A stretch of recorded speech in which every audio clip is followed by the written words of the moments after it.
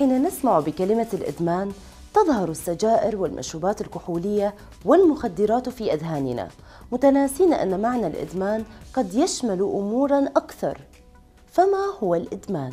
يعني أنك لا تستطيع الابتعاد عن فعل شيء تعودت عليه بشكل مستمر والانقطاع عنه يعني تغيرا ملحوظا بالسلوك والتصرفات وهبوطا بالمزاج أو حتى العصبية وسرعة الانفعال إذا فكثرة التبضع إدمان يعكس حب التملك وفعل المخاطر إدمان يعكس حب الإثارة وممارسة ألعاب الفيديو إدمان يعكس حب المنافسة.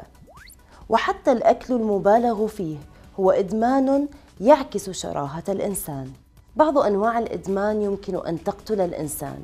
كإدمان عمليات التجميل التي تعكس قلة الثقة بالنفس والمحاولة المستميتة لاكتساب الجمال.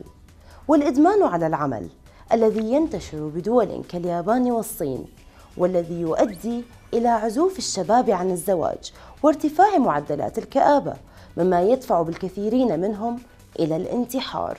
لا يوجد نوع إيجابي من الإدمان فأي شيء تشعر أنك لا تفعله بإرادتك هو حالة سلبية ويجب عليك التخلص منها بأي طريقة ممكنة. فالله خلقنا مختلفين عن باقي الكائنات بالإرادة ولا يمكن أن نكون بشرا من دونها.